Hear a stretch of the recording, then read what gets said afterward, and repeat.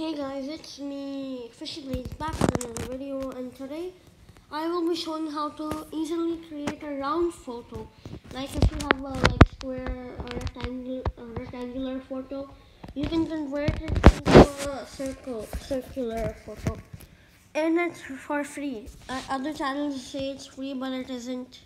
So what you have to do is download PicsArt, and it is for free so don't worry about that and when you're here you will see a screen like this.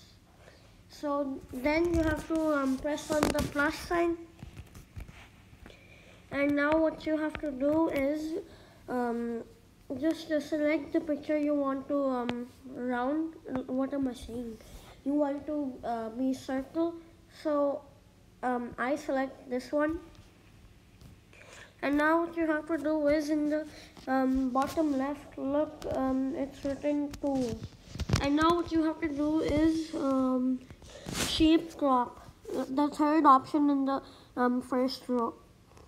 So what you have to do is uh, select the shape eh, for me and you guys I am selecting the circle. And you can resize it and stuff.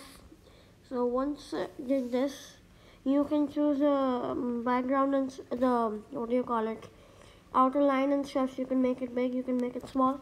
So and you have to save it and now um, just save it. And you have it in your photos. Um, see? Okay I hope you enjoyed this quick tutorial and I'm out. I'm uploading a new like Ronaldo montage so stay tuned for that. Please don't get copyrighted